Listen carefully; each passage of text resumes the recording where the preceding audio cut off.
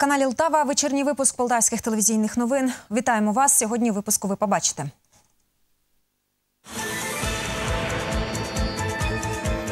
Сесія Полтавської міської ради тривала цілий день, але секретаря не обрали, бюджет не прийняли. Травми, порожні полиці в магазинах і переповнені сміттєві баки. Місто оговтується від сніжного фронту. Як стати волонтером? У Полтаві вдруге проведуть школу для молоді і навчать правильно реагувати на нестандартні ситуації. Майже вісім годин тривало друге пленарне засідання позачергової сесії Полтавської міської ради сьомого скликання. Саме стільки часу знадобилося депутатам, щоб проголосувати за звільнення заступників міського голови Олександра Мамая. За це рішення свої голоси віддали представники більшості фракцій. А от до розгляду проекту бюджету міста на 2016 рік депутати так і не дійшли. Не обрали на сесії і секретаря Полтавської міської ради. Ці два питання взагалі не розглядали. Протягом дня головуючий Олександр Мамай двічі робив перерву. Майже чотири години він разом із головами фракцій без представників засобів масової інформації радилися в кабінеті. Після таких тривалих перемовин за 13 питань депутати майже одноголосно проголосували всього за півгодини. Народні обранці затвердили положення про постійні депутатські комісії, а також їхній склад і обрали голів. Більшістю голосів розпустили виконавчий комітет Полтавської міської ради. А от новий так і не затвердили. Проголосували лише за кількісний склад. У новому скликанні буде не 15 осіб, як раніше, а 19. Це питання обговорювали дуже жваво. Хотіли навіть ставити на голосування про висловлення недовіри Олександру Мамаю. Хто увійде до складу виконкому, вирішать на черговому засіданні сесії, яка відбудеться вже цієї п'ятниці. Коротко про головне та крилаті вислови полтавських депутатів у матеріалі Олега Бондаренка та Костянтина Яхновського. Голосуйте,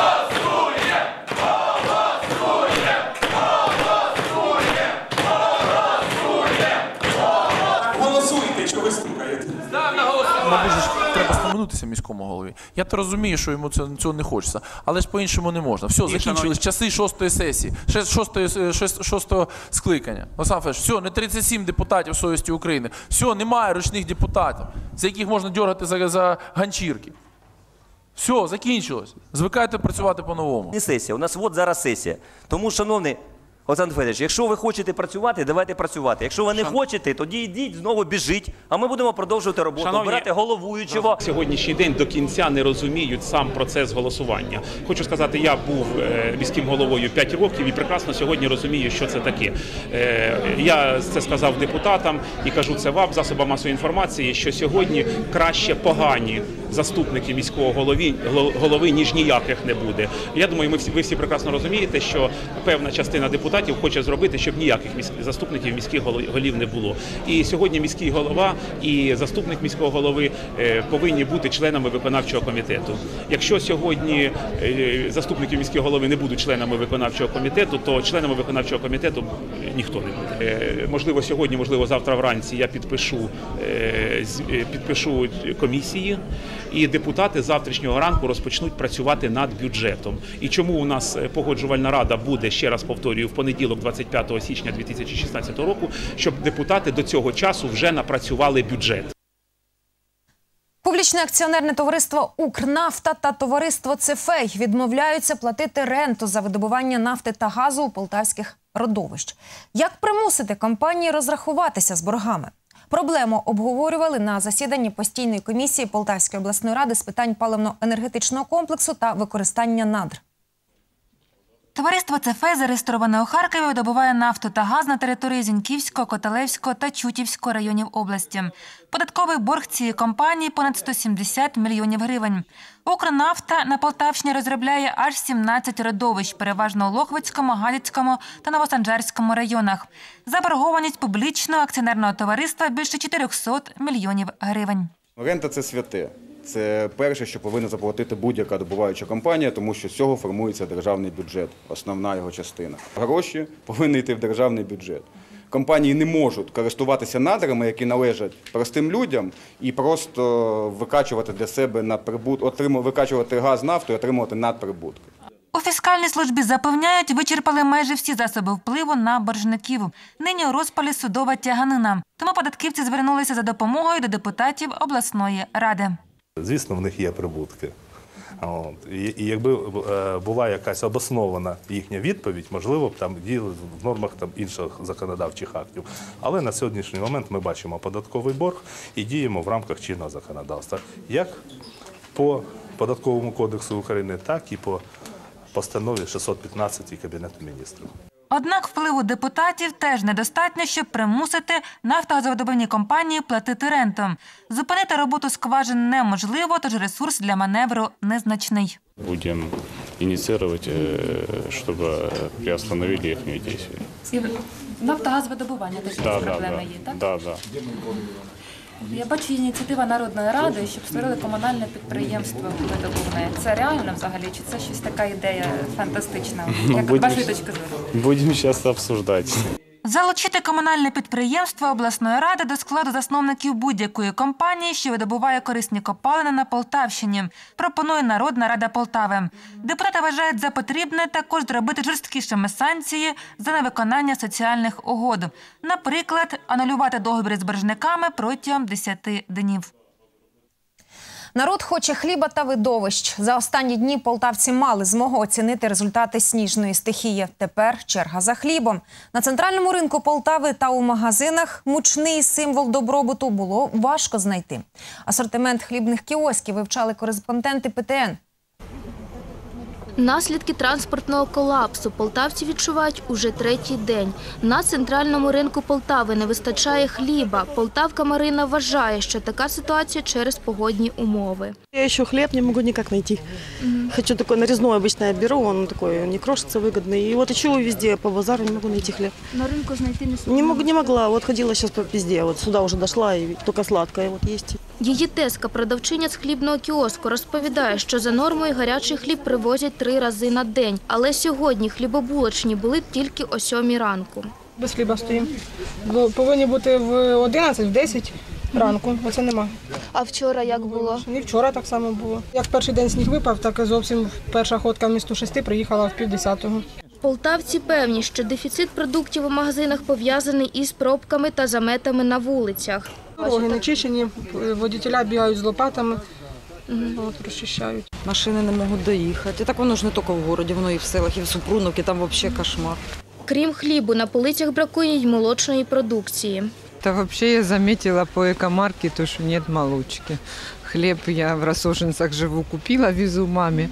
А с молочкой, да, действительно плохо. Сніжні неприємності торкнулися сміттєвих контейнерів. Жителі будинку на розгар Люксембур розповідають, що сміття не вивозять уже другий день. Із шостої ранку комунальники таки почали збирати непотріб. Пояснюють, що снігові кучугури на під'їздах до баків заважають працювати. А де найгірший під'їзд? В яких районах? Ну, по всьому городі таке. Але колапси сьогодення не впливають на гумор полтавців. Свій креатив місцеві жителі втілюють у сніжних скульптурах. Ось такий платний тунель чи шлагбаум смішив людей на вулиці Шевченка. Сніг додає роботи не лише комунальникам, але й медикам. Через негоду на Полтавщині почастішали випадки вуличного травматизму. Ожеледь продовжує збирати пацієнтів у лікарнях. Люди звертаються до медиків із переломами, вивихами та розтягненнями. Як уберегти себе від падінь і травмувань? Докладніше у наступному сюжеті. Ось так, повільно спираючись на ціпок, піднімається до лікарні пенсіонер Олексій Іванович. Він один із тих, хто став жертвою ожеледиці на дорогах. Говорить, ішов до магазину здоровим, а повернувся з ушкодженим правим плечем. Шел, упал, потерял сознание, очнулся гипс. Вот тут ударився, дуже сильно ударився. У травмпункті чоловік частий гість, і хоча у негоду намагається сидіти вдома, проте все рівно не уникає біди. Снігові нещастя, каже, з ним трапляються кожної зими. Ідеш, опа, і ти вже на землі. То спиною, то головою. Без лопати у снігопад не обійтися. Щоб люди менше падали, двірник міської лікарні очищає сходи від снігу. Свого імені чоловік не називає, проте роботу виконує по совісті. Нормально, нормально, хватає роботи. А потім прийде машина, грузить і вивозить. Ожеледь таки калічить. Пані Оксана щойно після операції до лікарні потрапила з переломом. Каже, дивом не загинула. Зараз почуває себе набагато краще. У нас е, на гаражі багато снігу було, на криші, на домі. Я, як сама легенька із сім'ї, полізла, щоб відкидати. І поскознулася з криші і впала на п'ятку, на ногу. Уже на розчищену територію на асфальт. Травматологічне відділення обласної лікарні, а це 30 ліжок, заповнене вщент. Щодня ожеледиця ставить підніжку сотням людей. Більшість пацієнтів це пацієнти, ті, які потребують саме оперативного втручання з усіх районів області, ну і міста Полтави. Жертвою нечищених зупинок стала старша медсестра Альона. Дівчина переходила дорогу і повсковзнулась. У результаті має руку в гіпсі. В усьому звинувачує комунальників. Дороги не чистятся, транспорт плохо ходит, люди на работу опаздывают, небезопасно, с детьми невозможно до садика дойти. Ну, в принципе, со двора даже невозможно выйти, не травмироваться. Проте, за словами фахівців, люди потрапляють у халепу не тільки через погані дороги, але й ламкі кістки та елементарну неуважність. Переломи плечової кістки, перелом ліктьового суглобу і в іншого пацієнта перелом теж ліктьового суглобу і перелом кісток передпліччя. Е, Це найбільш поширені травми е, кінцівок. Медики радять, якщо падати, то правильно набік, не впиратися руками та не гальмувати ступнями. Дотримання правил, якщо і не вбереже від травми, то принаймні захистить від перелому. Ні пластиковим пакетам, так велосипедам. Що може зробити кожен із нас, щоб врятувати природу від руйнування? Представники громадської організації «Еколтава» сьогодні навчали екологію у побуті педагогів полтавських шкіл. А вчителі, у свою чергу, передадуть ці знання учням. На уроці практичного екологічного життя йшлося, зокрема, про заміну пластикових пакетів авоськами, відмову від автомобільного транспорту, натуральну косметику та користь вегетаріанства. Саме на вегетаріанському харчуванні е, можна багато зекономити природних ресурсів. Наприклад, такі е, дані, що для того, щоб виготовити 1 кг м'яса, тобто виростити худобу, треба витратити 16 кг зерна. Тобто 80% площ, е, які зайняті злаковими зерновими, це насправді е, для фуражу, тобто для того, щоб годувати тварин. Якби ми ну, якби всі люди стали вегетаріанцями, то нам би знадобилося на 80% менше сільськогосподарських площ, які б ми могли, наприклад, зайняти лісами або ну, навіть садками. Відмова від пластику це перш за все потрібно, щоб е, був, е, була пропозиція на заміну цього. А так як ми не бачимо цієї ну, заміни, наприклад, на паперові пакети. Паперові пакети тільки в супермаркетах місто цих е, ну, пластику не зам- не замотується хліб, тільки паперові пакети в хлібах. І все, більш ні в чому. Поки що ми цього не бачимо. Крюківський міст знаряддя для вбивства. Усе більше людей відважуються на останній стрибок у своєму житті саме в цьому місці. Самогубство, що сталося у Кременчуці на початку січня, досі обговорюють місцеві. Жінка, мати двох дітей, не погодилася на вмовляння перехожих і під гуркіт поїзда розбилася об кригу. Деталі знають наші колеги з Кременчука. Кременчуцький міст стає знаряддям вбивства для людей, які вирішили покінчити з життям. Часто причиною стають проблеми на роботі, скандали в сім'ї або навіть нещасне кохання. Черговою жертвою стала жінка, яка 4 січня стрибнула з мосту. Ні поліціянти, ні водії таксі, які опинилися поряд, не змогли зупинити її. Без мами залишилося двоє дітей. Молодий працівник поліції надовго запам'ятає той день. Проехали за эстакаду метров 50 и увидели колонну машин, которая стояла. Два человека уже общалось с этой женщиной. Вот. Ну, мы остановились, вышли. Э, Что самое интересное, женщина вообще не реагировала никак. Пытался узнать ее имя уже, когда я стал с ней общаться. Молчит. Говорю, посмотрите на меня. Задержка, может, секунду. И только потом она переводила взгляд. На меня посмотрела и снова отвернулась. Жінка уже стояла за перилами спиною до води і лицем до дороги. Полісмен, щоб бути ближче до своєї співрозмовниці, вирішив теж перелізти через міст. За перилами, оказывается, есть э, достаточно места, чтобы стоять ногами. Вот. Ну и темно было, не особо высоту не ощущаешь. Страшно, когда ты не понимаешь, что будет дальше, и все-таки как, как общаться с этим человеком. Близько 10 хвилин хлопець вмовляв жінку не стрибати. А вона вже навіть рівновагу не тримала й ніяк не реагувала на слова. І коли пройшов поїзд, відпустила руки. Она прыгнула, и ты понимаешь, черт возьми, не получилось. А потом уже, когда вернулся в автомобиль, сел, начинают мучать другие чувства. Что я сделал неправильно, что я мог сделать по-другому. Вот, вот это мучает. Хвилин за 20 тіло скриги вже зняли водолази. До місця трагедії вони діставалися на аероглісері. условия были, э, можем сказать, такие тяжелые, потому что подойти э, человеку было трудно, но, но- но благодаря глиссеру вся эта операция завершилась успешно. Кожного року одна-дві людини в Кременчуці зриваються з мосту. Та не всі розбиваються об кригу чи тонуть. Трапляються і щасливчики. Был один случай, женщину мы вытащили, это, она э, порылась в этом сумочке, там искала телефон и удивилась, а почему она мокрая, вот это, вот такая даже, она даже не понимала этой ситуации. Статистика по самогубствам у Кременчуці невтішна. У 2014 році звели рахунок із життям 46 осіб, минулого року 37.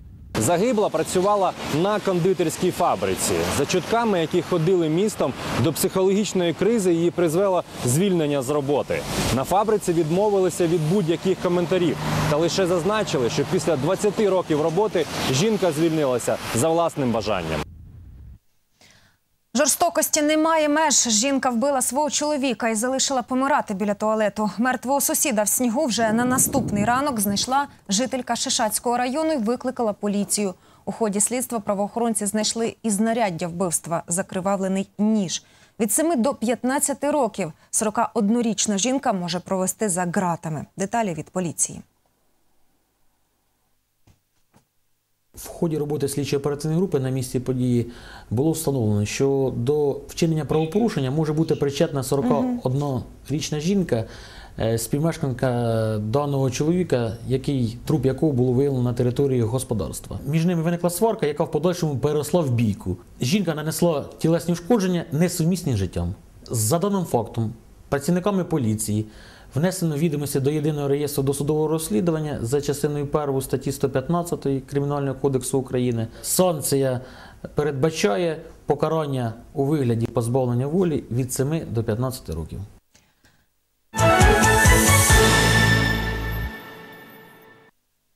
Події змінюють країну, а разом із нею змінюються і інтереси сучасної молоді. У Полтаві вдруге запрацює школа волонтерів для бажаючих навчитися орієнтуватися у нестандартних і надзвичайних ситуаціях. Яку допомогу випускники зможуть надати, знають кореспонденти ПТН. Полтавщина територія мирна, але треба бути готовим до всього. У Полтаві скоро запрацює школа волонтерів, де молодь вчитимуть орієнтуватися у нестандартних надзвичайних ситуаціях. Координують заняття рятувальники і готові взяти всіх бажаючих. Проте певний відбір буде, розповідає Анатолій Безпалюк, начальник обласного молодіжного центру.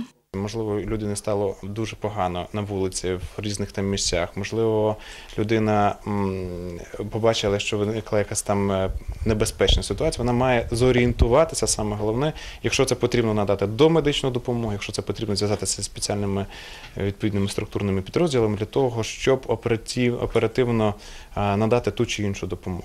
До проєкту планують залучити громадські організації та психологів. По закінченню навчання майбутніх волонтерів проекзаменують на полігонах та змаганнях. Це і надавати першу допомогу, коли людина, наприклад, е, на воді потопає, чи якщо людина там їй стало зле, і потім як працювати із зброєю правильно, як е, самозахист. Ну і звичайно багато інших буде локацій, які потрібно буде обов'язково пройти. Представник громадської організації Катерина Нещетна вважає, що нині волонтери потрібні як ніколи. У зв'язку з ситуацією взагалі в країні і е, в у всіх розвинених країнах волонтерство є найбільш поширеною, да, так е, і признаною. Е, У нас, на жаль, да, це тільки починає розвиватися, і це є дуже актуальним. Тому ми бачимо в цьому смисл. Завжди рушійною силою у вирішенні суспільних питань була молодь, каже психолог Юлія Фалєєва. Тому й навчання буде проходити у сучасному форматі тренінгів. Ні в якому разі це не будуть лекційні заняття. Коли студент прийшов, почитав та й забув. Це будуть практичні заняття, тренінгові заняття в невеличких групах до 15 до 20 осіб. Буде спочатку перемежовуватись теорія невеличка, і потім кожна з цих невеличких груп буде мати можливість на практиці отримані знання втілити. Навіть якщо учні не стануть волонтерами, отримані знання їм знадобляться. Наприклад, розібратись із власним психологічним станом, допоможи собі, а потім іншим. На цьому інформаційний випуск новин завершено. Дякуємо за увагу. В студії працювали Марина Проскруняк та Марина Марчук. Спокійного і затишного вам вечора. Побачимось.